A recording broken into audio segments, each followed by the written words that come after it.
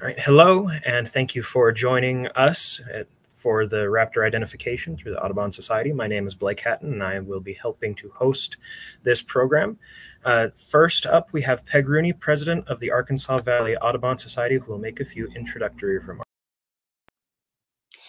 Thanks, Blake. I want to welcome you all here today and remind you that the Great Backyard Bird Count is going on through February 21st.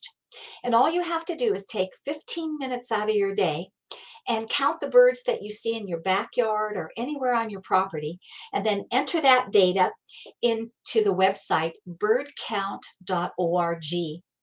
And this data gives researchers at the Audubon Society and the Cornell Lab for Ornithology a snapshot of how bird populations are doing across the country. So it's a free and fun way to help birds. And another way that you can help and protect birds is by joining your local Audubon Society. And you can find membership information about Arkansas Valley Audubon on our website, Southern Colorado Birds, abbreviated SOCO. So socobirds.org. And we hope you'll join us. And now I'll turn it back to Blake and he'll introduce our speaker. Thank you, Peg. Our speaker today is Debbie Barnes. She is uh, works with the um, she has volunteered with the Parks and Wildlife Department before, and she is a published author as well. And she is working uh, with raptor identification for uh, several uh, years now, I believe. And so now she will, uh, I can find my words, she will host our program today and give our presentation. So without any further ado, take it away, Debbie. Hi, thank you, Blake. Uh, I, as Blake said, I volunteer with uh, Parks and Wildlife, doing raptor ID and breeding bird surveys. Uh, I've been birding for 20 years and uh, written a couple of books for birding at Florissant Fossil Beds National Monument. Um, we haven't published the one for Cheyenne Mountain yet, uh, and I'm working on one for Mueller State Park. Uh, so let's get started with Raptor ID. Um, we're going to be talking about several groups of raptors. So I like to split it into five groups. So we have the eagles, of which there's only two. So you, if you can get to eagles, then you got a 50 50 chance of getting it right. And then we do the buteos, which are the broad winged, short tailed soaring hawks. And then we do our uh, falcons, which are our um, sort of jet fighter, fast moving uh, raptors. And then there's the other something else, which would be our vultures, our kites, our osprey, and our harriers, and then our accipiters, which tend to be kind of the hardest group to ID because you have a lot of similarities. Um, but we can get you there with my little methodology, which we'll talk about as we go through this. So, one of the first lessons of looking at raptors, especially when they're in the sky and there's no point of reference or sense of scale, is size doesn't matter. So, the bird on the left looks smaller than the bird on the right. Yet in reality, when you put them against, say, a telephone pole, which is 10 to 12 inches wide at the top, you can see that the bird on the left is larger than the bird on the right. So don't let size fool you when you are out in the field. So let's talk about our eagles. Again, very large raptors. We have the golden eagle and the bald eagle here in Colorado. And the adult golden eagle is kind of a chocolatey brown with golden uh, nape on the neck. Uh, they have feathering down to their toes, which their toes are right here. Um, they're a very large raptor. They breed all over the state. When they fly, they tend to fly with uh, very flat wings. Sometimes they'll have what we call the fingers. These are the primary flight feathers here spread out, but you can still see that golden nape and even golden bits all over them if you get the lighting right. A very large raptor. You see that feathering all the way down to the toes. Um, and they kind of have, they're proportional, so their head fits their body size. Uh, but in bright light, that nape can look almost white, but you see that the beak is large, but it fits uh, proportional to the size of the head and the body, and then these nice long straight wings when they're flying, and they have a rounded tail. And then when we get to the juvenile golden eagles, most eagles take about five years, especially the bald eagles, to reach adult plumage. They'll start out with a lot of white all over, um, but the white on a golden eagle tends to be on the non muscled parts of the body. So the muscles kind of go along here and, of course, into the body. And then you can see that they're in the flight feathers here, and then they'll kind of have a nice white band on their tail. Uh, younger birds will have a little bit more white going up into the muscled part of the body, but the most of the white, again, is still on the non-muscled part of the body. Uh, they build very large nests, usually on rock cliffs, where they can stay out of the way or into a discreet little cavelet. This is a nest out in eastern El Paso County that's been in use for thousands and thousands of years these nests weigh thousand a thousand pounds and half of it'll fall off every few years because they add sticks to it every year now our adult bald eagle it's our national bird everyone knows it has a big white head and a white tail it has a very large beak that is not proportional to the head as it the golden eagle is they are more of a dark black brown um, and then that white tail uh, is more wedge shaped versus rounded. Uh, in winter, they can be found roosting in groups.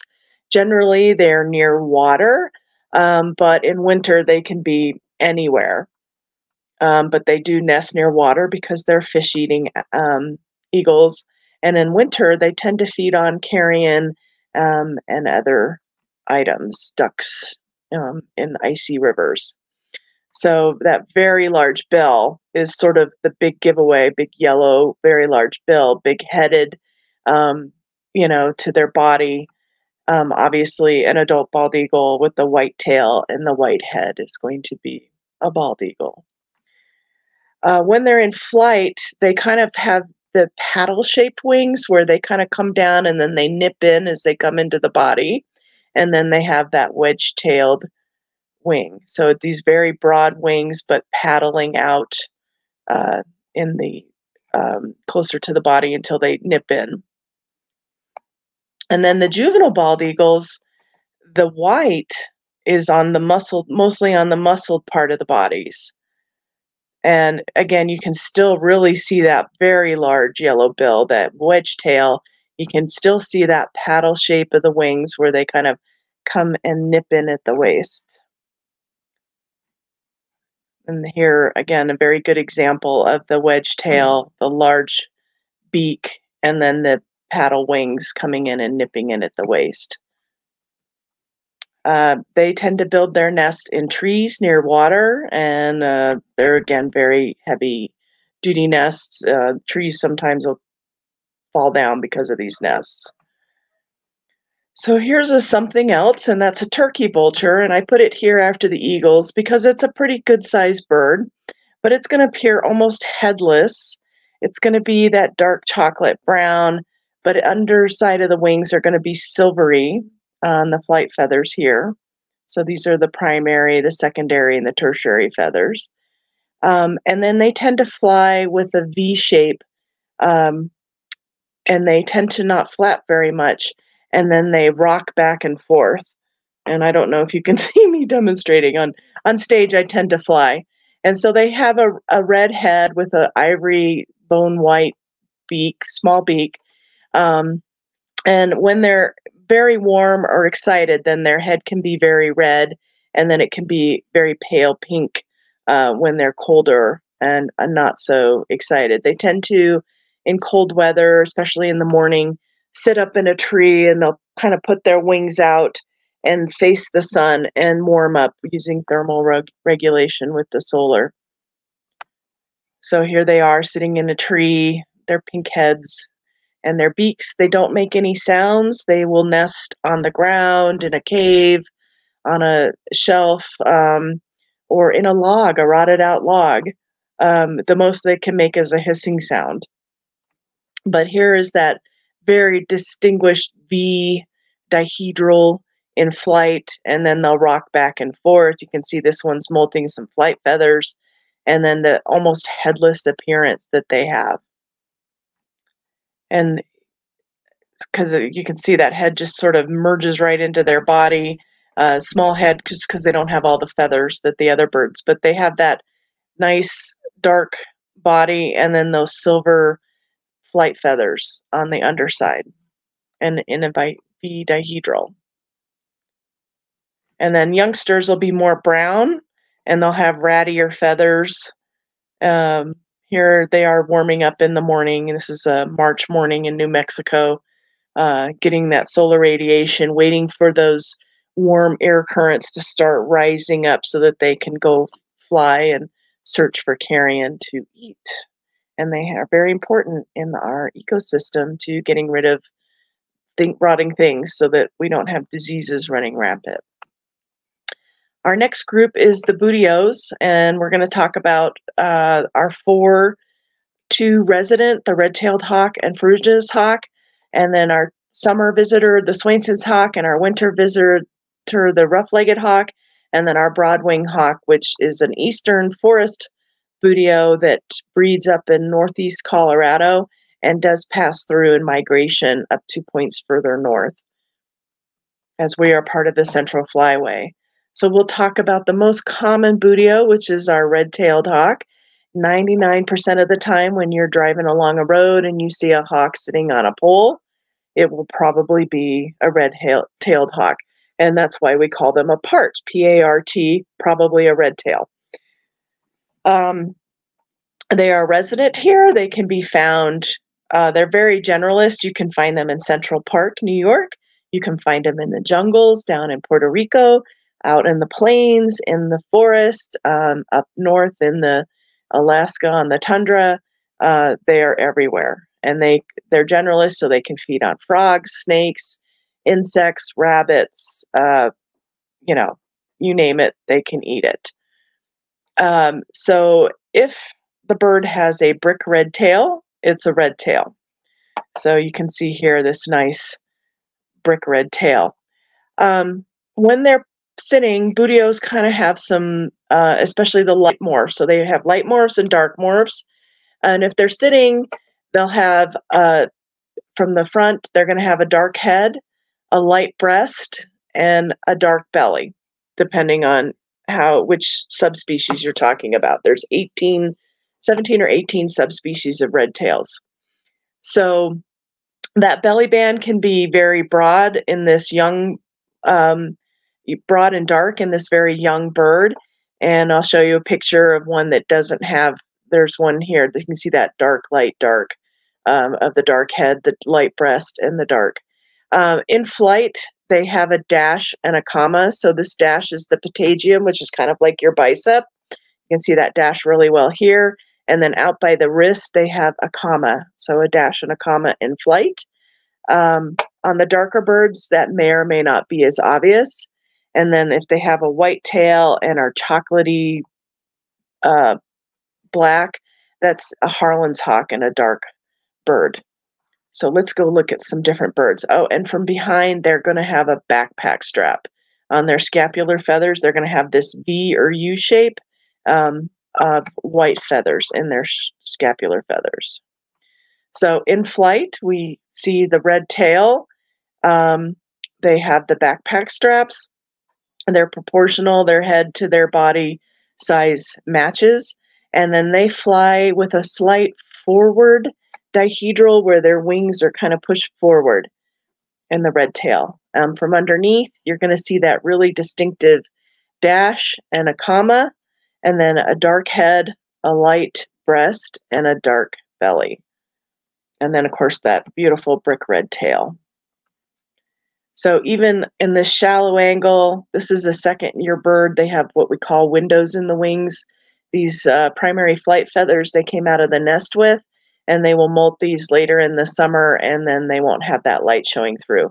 But you can still see the dash and the comma and the dark head and the light breast, and then you can barely see a, a belly band there. So dark, light, dark. From behind, on this bird, you can see the uh, backpack straps really well, not to mention the brick red tail. So they nest in trees. Uh, they have three to five, four young, generally speaking, um, and they're very defensive of their nesting habitat. So you definitely want to give them, you know, good 400 feet away from their nest to not disturb them. If they're calling because you're disturbing them, then you're too close and you need to back off. Um, their feathering only kind of goes down to their knees, so they have bare shins down to their toes. Um, but you can still see that dark, light, dark on this bird. Um, this nest is up on Pawnee grasslands, has a dark morph bird, a red rufous morph bird, and two light morph birds all in the same nest. And when they're getting ready to branch out, they, you know, they're these guys are getting close to fledging. These guys are just starting to sit out on the edge of the nest and start exercising those wings. And then their younger siblings are inside the nest. So again, in flight, that dash and a comma, that dash goes all the way through the leading edge of the wing. Um, in the second year bird here in the spring, you can see those wing windows in the wings, but they still they just have dash or a banded tail versus the red tail that the adult has. And then dark, light, dark. And then I just put this one in here because it's just such a fabulous picture of a red tail coming at you, taking off from a power line. And then here's a nice dark rufous morph, but you can still see the dash and the comma, the brick red tail, um, the bare legs. And then the dark morph. Uh, this is a small male taken down in Cañon City along the Riverwalk, um, but he still has the red tail and the backpack straps. And if you know, depending on. And then there's the Harlan's hawk, which comes down in the winter. This is a subspecies of red tail that's more instead of those warm browns is more brick uh, black colored with a white tail. Um, and there's that white banded tail with a, a little dark subterminal band on that tail. And then another immature bird in spring, they're very splotchy. Instead of nice fine markings, they have splotchy markings. And then that banded tail, but they're still dark, light, dark. And they still have their dash. It's not as fully filled in and comma. This is a bird over on the right that's just come out of the nest. So it still has some white around the head that will are just nestling feathers that are gonna as the other feathers fill in, but it still has its backpack straps, the banded tail, and it will have the um, um, the dash and the comma on the wings. And after a while, you see enough red tails, you just recognize a red tail head but dark, light, dark, and in their nest. Then there's our ferruginous hawk. It's our largest buteo. I tend to call it the Arnold Schwarzenegger of the buteos because it's extremely beefy. Look at how big that head is to body size. Very beefy. And they're called ferruginous for this iron rust colored on their wings. Beautiful, beautiful bird. Um, they have a gape, um, which is the yellow skin around the the side of the beak that goes, if you draw a line down from the middle of the eye, it will intersect that gape. Uh, mostly we have here in Colorado the light morphs, but in winters we do get dark morph uh, ferruginous. They tend to have a whitish to gray tail to like a pink almost, depending on uh, you know which bird you get. But from the upper side, you're going to see those really uh, ferruginous or rusty uh, wings, uh, shoulder scapulars, and then they have this white window as an adult in their wings uh, in these flight feathers. That is because the, the flight the feathers are white. Uh, big beefy head. Um, they fly pretty straight, almost like an eagle. They're not quite eagle size, but close. So they do have um, dark on the patagium, but it you can see that white on the leading edge of the wings, so it doesn't go fully through. And then they do have the comma on their wings. But what they do have is rusty leggings or pants that go all the way down to their toes. and then they are light, light, light. So a light grayish light head, a white breast, and a white belly. And then that nice V of their pantaloons, uh, and then that white tail. So very, whoops, light colored, light, light, light, and then the rusty V of their leggings. And then you can see really well demonstrated here that the the dash on the patagium doesn't go fully through the leading edge of the wing. You can see the white feathers coming down over that leading edge, but they do have a comma. Matter of fact, all of the uh, Buteos that here in Colorado have that comma, but that white tail, um, just a beautiful, but look how beefy that head looks and um, to the wings and everything. It's just a very beefy bird. And then from the upper side, here you can see some red, but it doesn't go fully through the tail like the red tail. But then you see that beautiful ferruginous scapulars here, and then the white windows in their flight feathers and secondary, primary and secondary flight feathers. And here is a fence. You know, this post is probably what four or five inches around. This is a big female, and she's having to lay back on her kind of on her hocks here because she's so big. Uh, they like to sit on the ground on a little high point on the ground. They hunt rabbits and um, prairie dogs. And then here you can see that yellow gape. And if you bring a line right down through the center of the eye, it intersects that yellow gape. And then the ferruginous shoulder scapulars, but light, light, light. And then the red uh, leggings. And then here is a dark morph, very rusty red, but still white tail, uh, big beefy head, and then the rusty leggings going all the way down to the toes. And here you don't see that dash. It is a little darker, but they still have that comma in the wings. So, um, and then the gape. You can see that yellow gape going all the way back through the middle of the eyes. Uh, they tend to be a little more approachable than red tails, uh, except for in their nesting territory, where they're going to nest a half a mile from any road. Um, they'll nest in a tree on a nest platform um, but it's going to be a tree or something all by itself. Um, and then here on a telephone pole, excuse me, you can see that uh, gape going through the, the middle of the eye and then the rusty leggings, but otherwise kind of a light colored grayish head, a light colored breast, and a light colored belly. Light, light, light. And here is a nest in a tree out by itself. And here's a scoped view of the nestlings in the nest. And then the immature birds are going to be very plain looking, but light colored.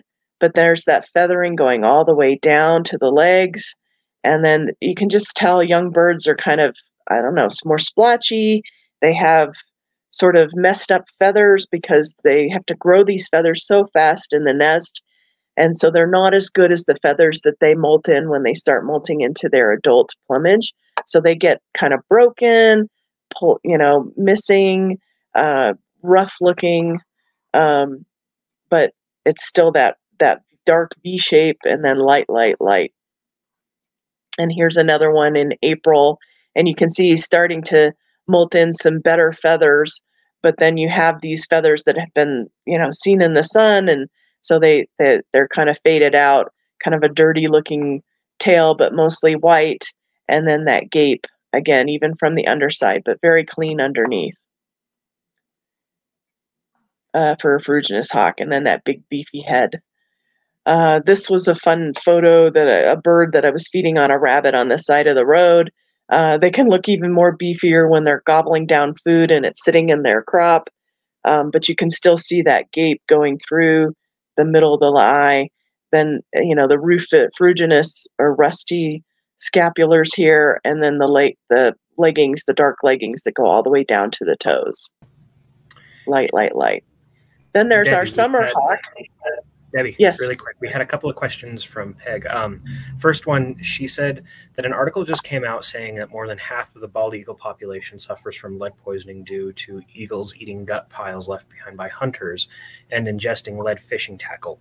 What do you think can be done to address this problem?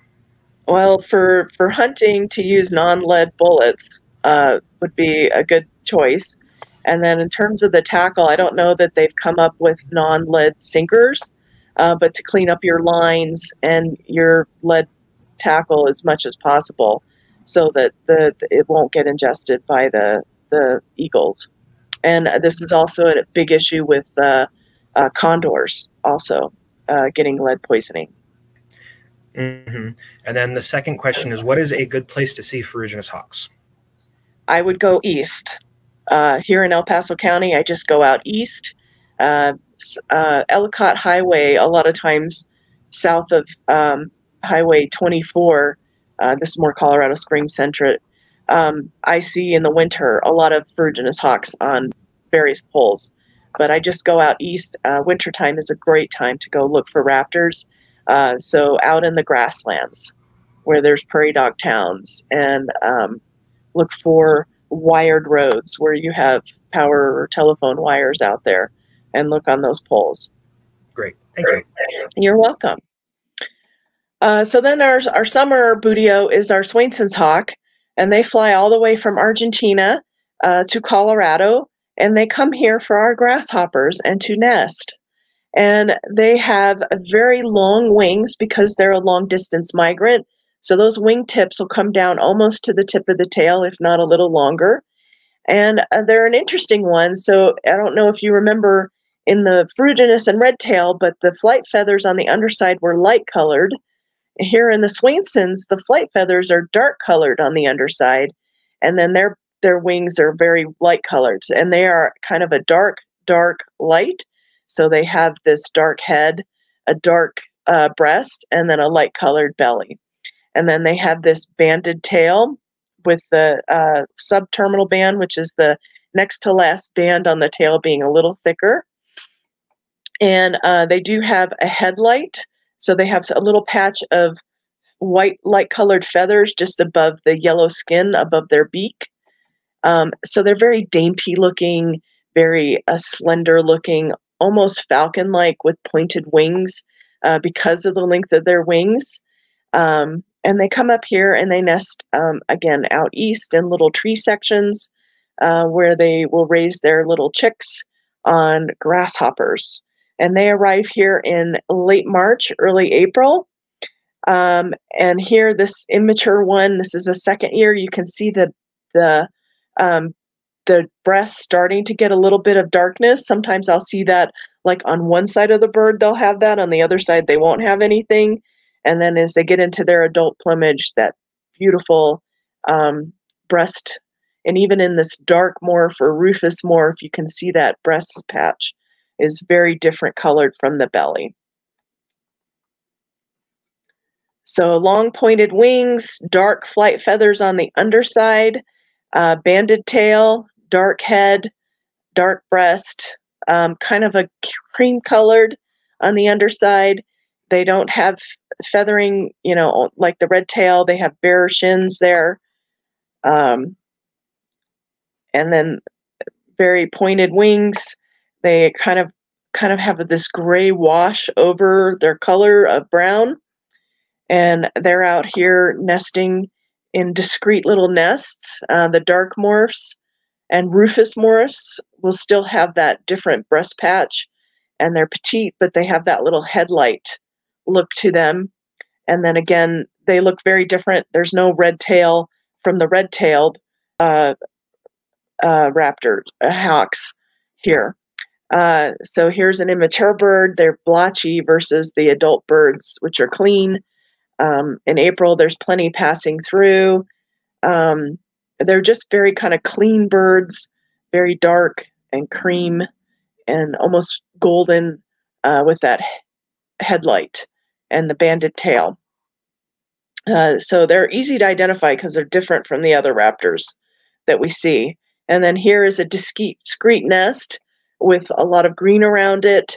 And then there's that white feathers to make that headlight of uh, Swainson's hawk. And then that cheek chick in another nest. And then there's our winter hawk, which is our rough-legged, comes down from the Arctic. They fly a lot like a northern harrier in that they uh, hover a lot um, and they f- kind of course back and forth. But instead of being, say, five or six feet off the ground. They're much higher up. Um, they're a very petite, small, compact raptor. So here you can see an insulator on a power pole and it's sitting on top of that. And then they are, well, let me go back to my, uh, sorry, I think I went over this. So they're going to be dark, dark, light on the Swainson's hawk. So our red tail is dark, light, dark. Our Ferruginous hawk is light, light, light.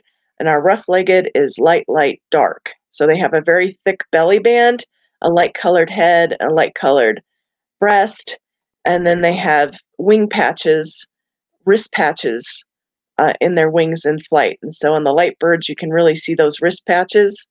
And then they have a light colored tail with a thick subterminal band. And then those wrist patches. And um, and then on the back, they're very mottled colored. So very rounded, you know, head to body, and then the light, light, dark. So there's that dark belly band, and then the wrist patches here, and then the white tail with the thick subterminal band. The thicker the belly band, the the then this will be a female bird. The male birds will have a little thinner belly band, but they'll have a thicker subterminal band. So here is a male bird with the thicker subterminal band and the thinner belly band, but there's those really distinctive wrist patches in flight. So here is a nice sort of palomino golden, uh, probably female because of that thick belly band and thinner subterminal band. And then the dark morph, the belly band may not be as obvious. The wrist patches may not be as obvious, but look at sort of the petite, small, bulky head uh, to body ratio. And it's just a small, very buoyant, light bird. They'll hover. And then here's this beautiful male with that thicker subterminal band. Uh, you can see the belly band here and then the nice wrist patches. But look at the coloring on this bird. And these are all birds that I photographed in Colorado. And then from the back, they have a very mottled, you know, a lot of white on their back. And then you can see those long wings coming almost down to the tail. And then this is a female because of that really thick belly band, uh, but light, light, dark. And they have feathering down to the toes. And then our broadwing hawk is mostly seen in migration.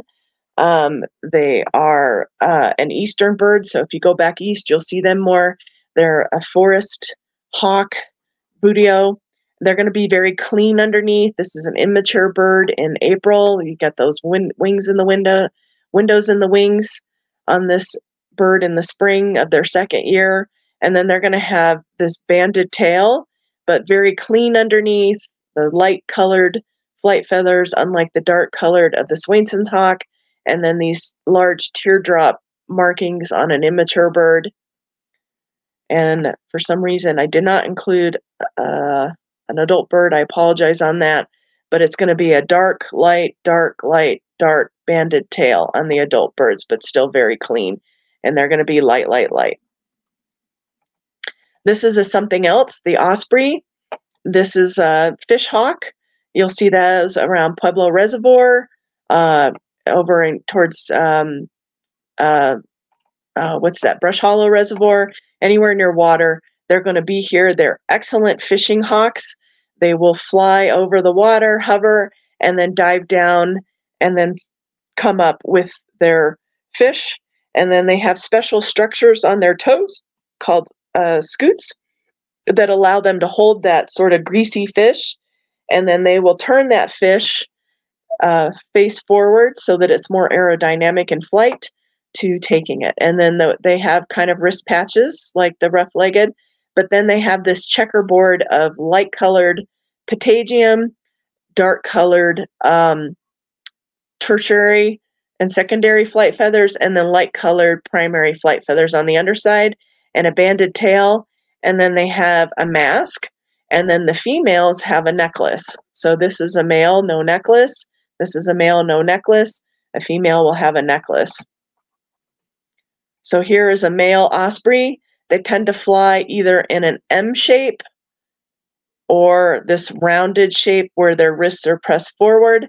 They have that mask over their eyes, the banded tail, very clean, light colored body, those wrist patches, light colored, you know, four patch, so dark, light, light, dark on their wings. Again, another male, wrist patches, light colored primary flight colors, dark colored secondary tertiary flight feathers, and then light colored patagium and banded tail. And there's that classic M shape. And then there's the mask.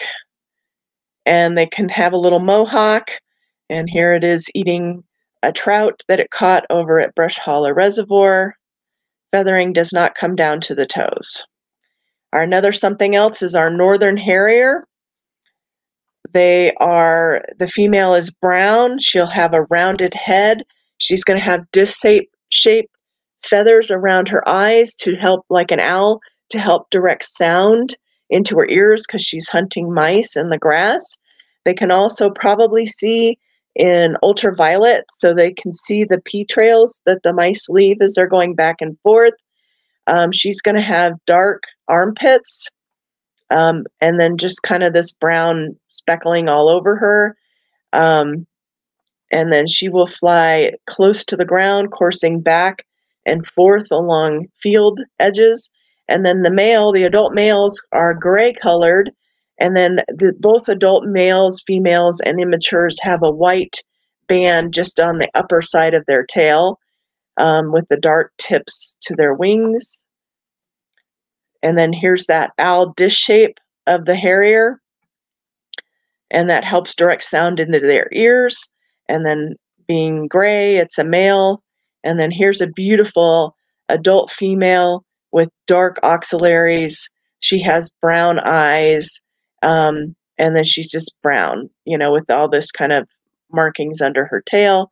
They have a banded tail, and then you can see a little bit of that upper white band on the upper part of the tail. And then immature birds are going to be much cleaner.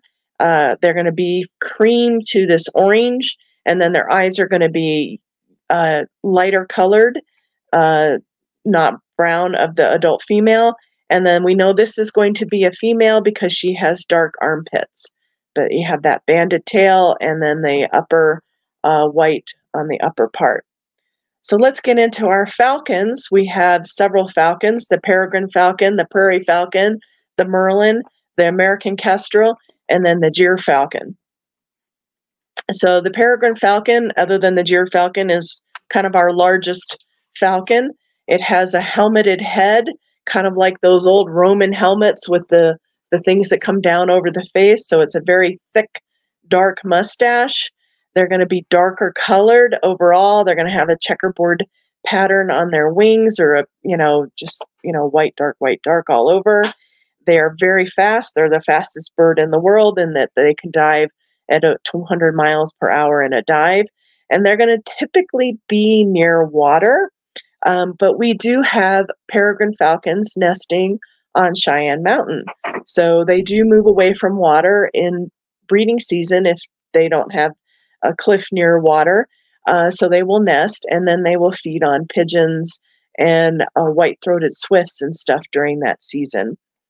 Um, so they are very fast, very aggressive birds, but they're that thick mustache, helmeted head of the falcon, and then the overall dark color, and then those long pointed wings of, of falcons. So they fly like jet fighters, so they have those pointed wings, so they're very fast. That helmeted head, even in dark, you know, lighting, is very distinctive. They're going to hunt small ducks like teals and shorebirds during migration. And then here is a typical Colorado falcon with that dark, thick mustache, dark underside, um, kind of checkerboard body, pointed wings. And then our prairie falcons kind of have that penciled mustache.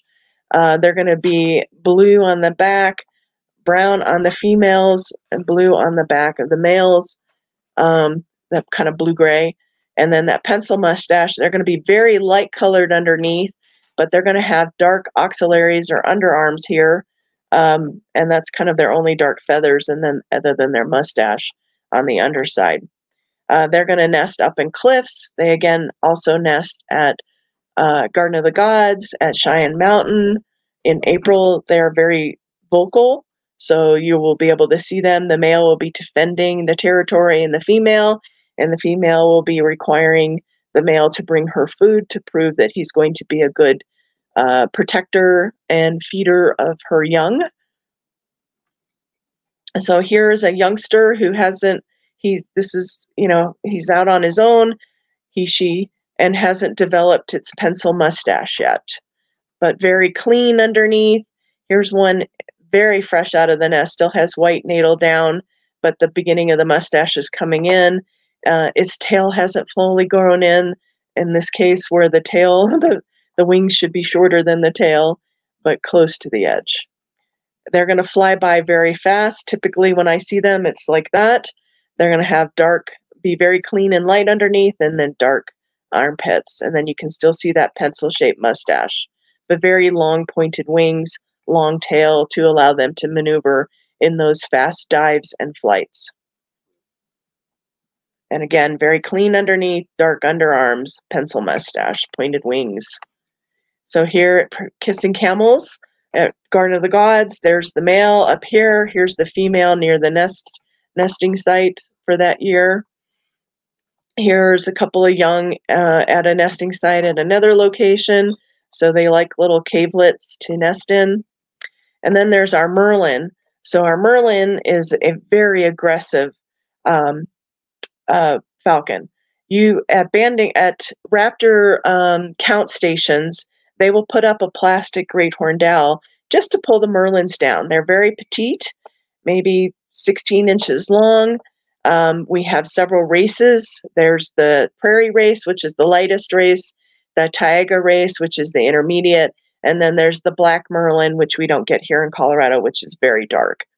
Uh, they come down in the winter and then they breed up in the northern part of the state and over into Wyoming um, is the closest they are. So this is a winter bird that you're going to go out on the eastern plains to look, and or in the city in Colorado Springs, we'll see these uh, hunting pigeons, and um, this is another one where you can tell males from females. The males will be blue gray, the females will be brown. The prairie falcons, I don't, I'm not as positive that you can tell females to males. Uh, they're going to have a banded tail, long pointed wings. Their mustache will be slight to non existent. And their flight is very fast. So here's a taiga. Uh, this is a rock pigeon, a headless rock pigeon, because that's the head over there. And it is larger than the merlin. That is how aggressive they are. But it has almost no mustache. This is a male because he's got blue gray wings. Um, and they're just aggressive, fast birds. Here's a prairie race, and this is a female with her brown, almost no mustache. They kind of have a parakeet shaped bill, uh, which is typical of falcons. And you can really see that bill here very well. Another female prairie race merlin, almost no mustache. Um, trying to find them and get them in flight is almost impossible. This is a male flying by. And I think the reason I got this picture was there was a Euro, uh, Eurasian collar dove sitting on a line, but he had probably already fed. And so he was casually flying by and eyeing that, going, well, maybe later I'll have you as a snack. And then there's our smallest falcon and raptor, uh, well, diurnal raptor, out. There's some smaller owls, the American kestrel. They're about 10 to 11, 12 inches. They're also our most colorful raptor in United States or North America. And the male is going to be the most colorful, and he has a blue gray head. He has blue gray wings and then lots of red on his back and his front. And then they have a double mustache. So they have the mustache under the eye and a second one under their ear. And then the male, he's going to have this brick red tail with this dark subterminal band, but the outer two feathers are going to be banded. The female, they're just going to be a banded tail all the way through. And then she's going to have brown or rufous wings, but she will have the blue gray head and the double mustache. So here's a female in my hand. Just give you a size idea, females and raptors are larger than males. And she has her double mustache, her banded tail, and then her uh, rufous. And they're here year round. Um, look on a power line uh, out east on a fence line. They're hunting mice, lizards, insects uh, to eat, and uh, very beautiful birds. So here you can see that female is bigger than the male. In April, they're starting to pair up. They nest in cavities, tree cavities. They will take two nest boxes. Uh, there's a, a condominium complex up on the north end that put in nest boxes and had uh, American kestrels nesting. So if you have American kestrels nearby, put up a nest box. Maybe you'll have a pair nest on your property. Isn't that cool? And then there's the beautiful male, very colorful with those blue gray wings, blue gray head, double mustache, red back and belly, and red tail. They look kind of like a flying banana, kind of have that sort of rounded shape of a banana with wings. And then there's the Mississippi kite. Um, down in Pueblo, they nest near water, uh, um, near like some of the lakes and streams down there. They are moving. They've they've come up the Mississippi River, up the Arkansas River, and now they are coming up Fountain and Monument Creek and nesting um, in Fountain and Security and moving north. So they've been expanding their range. They're an ombre uh, bird where they have a white head, light gray to dark gray to black tail. They have red eyes as adults. Uh, they feed on dragonflies, and that's why they like to be near water because they need those dragonflies. And that's the nest colonially. So if you're in a park with a lot of trees or in a neighborhood with a lot of trees, there will be several pairs around that area nesting. And then the immature are kind of streaky brown gray, and they will have uh, not red eyes. So here's a male bringing a stick to the female to prove that he will help her with feeding the young and protecting the nest. And he offers her that stick so he can mate with her. And there's that really good um, parakeet beak look. Um, but they are not falcons, they're kites. This is a something other, but that white head to light gray to dark gray to black. Uh, Pueblo Raptor Center has several that they keep over the winter if they can't get them rehabbed and out before they migrate south. And then we get into the hardest group, but there's hope. You can still identify these. Even if you get to that's an accipiter, that's great. And there's three. There's the northern goshawk, the Cooper's hawk, and the Sharp's hawk. The northern goshawk, an adult, it's going to look very different from the Cooper's hawk or the Sharpshin. Uh, the Cooper's hawk and the Sharpshin look very similar, and we'll go over how to tell them apart. But if you can get to a accipiter, you're doing great. So the goshawk is the largest. It's beefy. It's almost buteo in shape. It is gray, fine barring with a big white eyebrow. It's called a supercilium. Um, it has a wedge-shaped tail. Um, then there's the Cooper's hawk, which is in the middle. It's going to have a capped appearance, so a dark head, but a lighter colored neck. It's going to be red barring um, or white breast with rusty bands on there, and then a banded tail. All of these have banded tail, and then that tail is going to be rounded.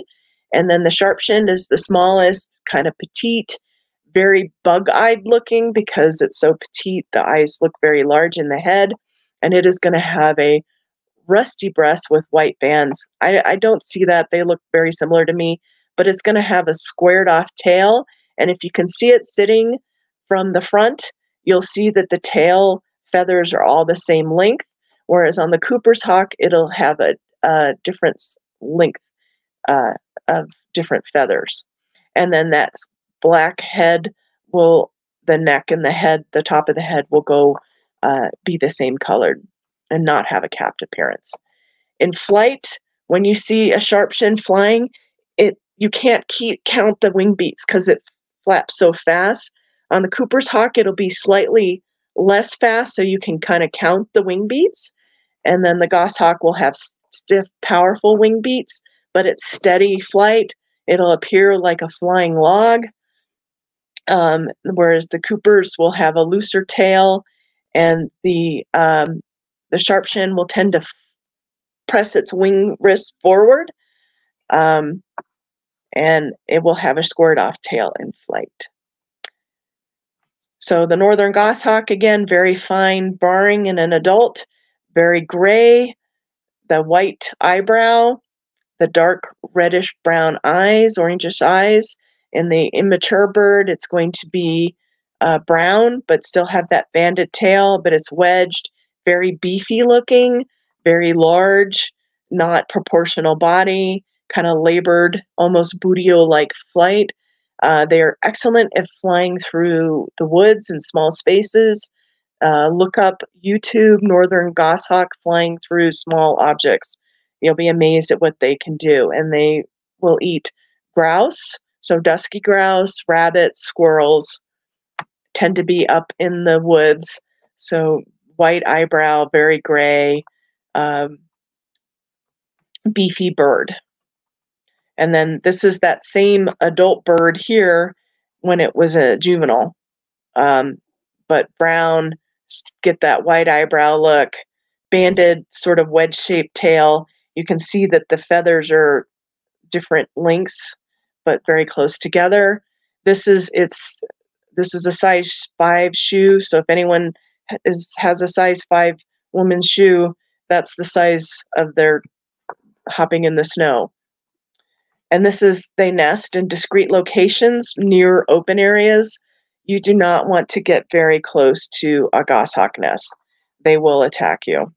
And it's just not a good idea. We don't want them to abandon. So give them plenty of room. Uh, the Cooper's hawk going to have a capped appearance, a rounded tail, banded tail, the white breast with the rusty bands. Um, you can count their their flight. Um, they w- can be seen on the ground running under trees to flush other birds. They're going to feed on your robins and your um, uh, grosbeaks and those you know intermediate birds. Um, the males and the females. So the male of the Cooper's hawk and the female, of the sharpshin, are just about the same size. If you had them in hand, the Coopers would still be bigger than the sharpshin, but to the eye, we can't measure that well. Um, so they're going to appear about the same size, uh, whereas the female will be bigger um, of the Cooper's hawk, and then the male of the um, sharpshin is going to be very small. They are year round residents. Uh, they nest here in Colorado Springs, in the city, um, in the trees around Fountain Creek. Um, they're getting busy in late April, early May. They tend to, around the nest site, be loud, kee, kee, kee, kee, kee. Uh, they do nest like up in Cheyenne Mountain too, um, but the sharpshins do also. So here is kind of a rounded head. When you draw a line from wrist to wrist, it's well behind the eyes, but you have that rusty um, barring or white, rusty and white barred chest, the banded rounded tail. And if you see them from front and the tail is folded, they're going to be different lengths. And I don't know if I have a picture of that, but that nice rounded tail. An immature bird is going to be brown. They might have a little bit of white eyebrow, but it's a very short eyebrow versus the um, uh, the goshawk.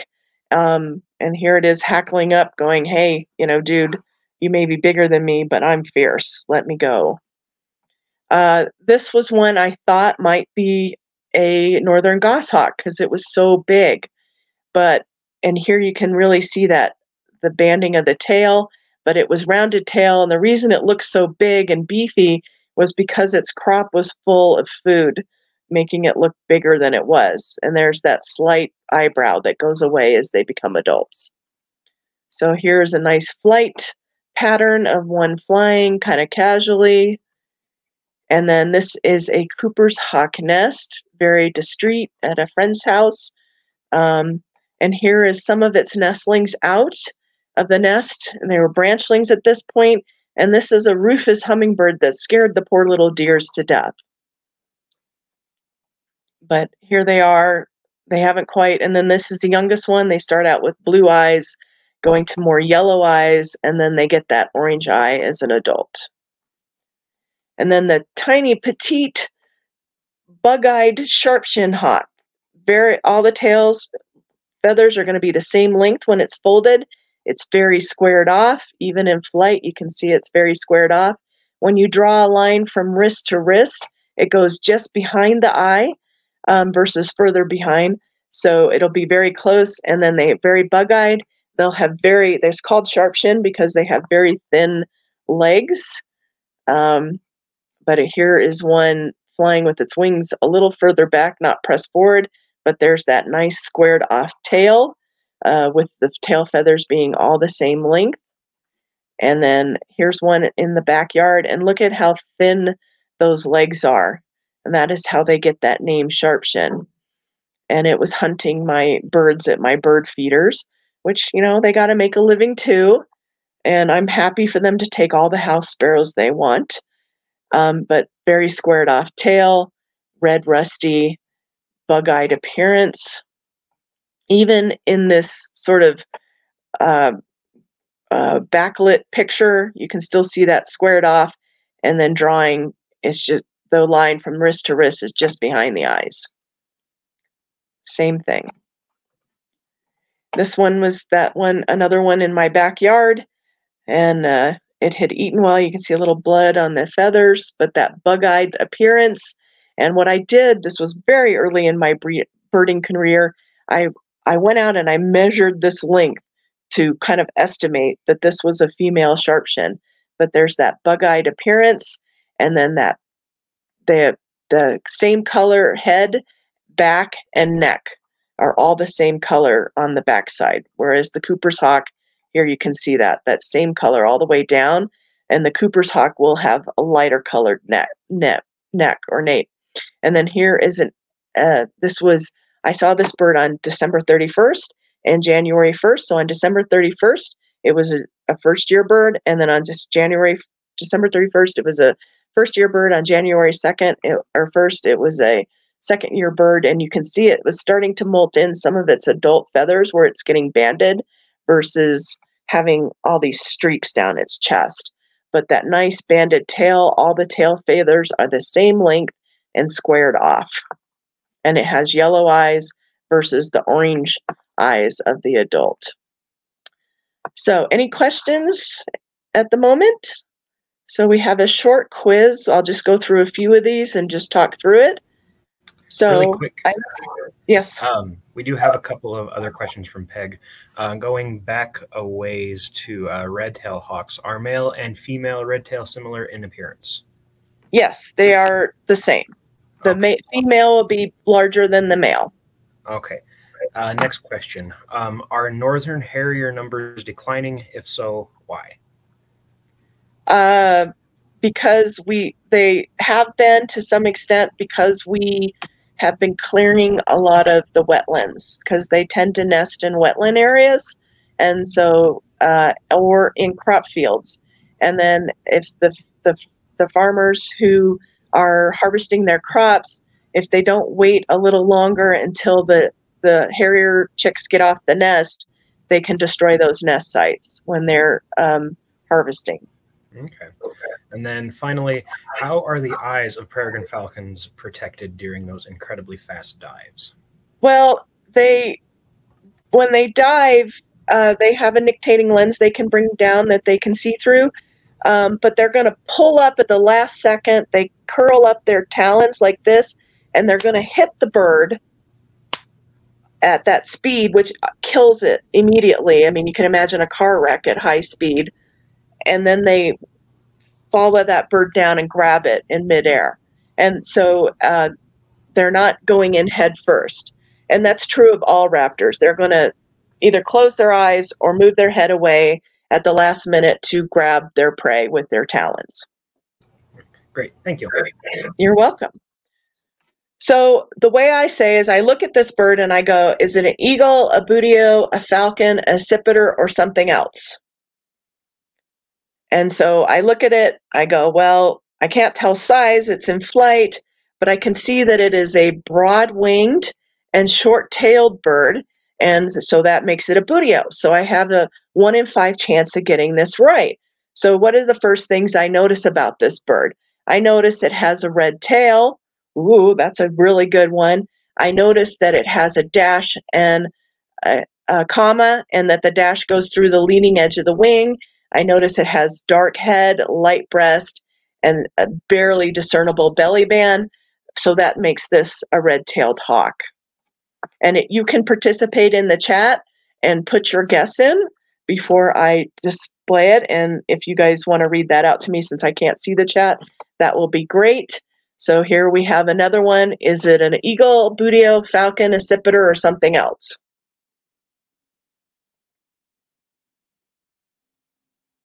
And this is a buteo, a broad-winged, short-tailed bird.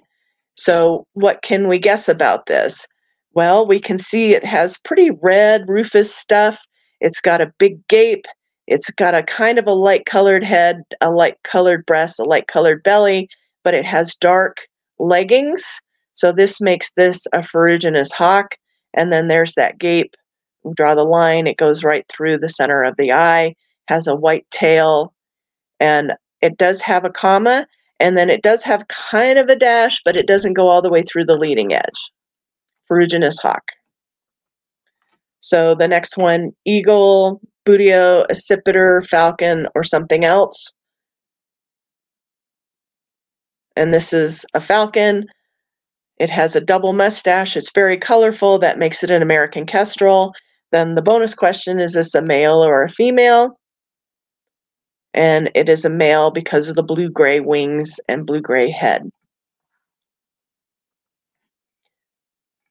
Eagle, buteo, falcon, accipiter, or something else? Anyone? This is a something else. It's a turkey vulture barely discernible head, white bill, um, V-shaped flight, silver uh, flight feathers, overall dark. And this is kind of how you practice, is working on that. So are there any further questions from anyone?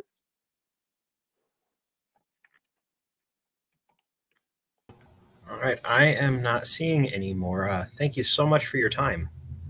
You're oh, welcome. just got one from the, uh, oh, just Peg saying thank you again. Oh, great. Well, thank you guys so much for coming out. And um, hopefully you'll send me the link to where this gets published and I can put that out on my social media. And I'm sure it'll go out on the uh, Arkansas Audubon's social media or webpage yes. so that people can watch this again at another time. Definitely. Thanks so much. It was great. Thank you for having me. Thanks, Brett. Blake.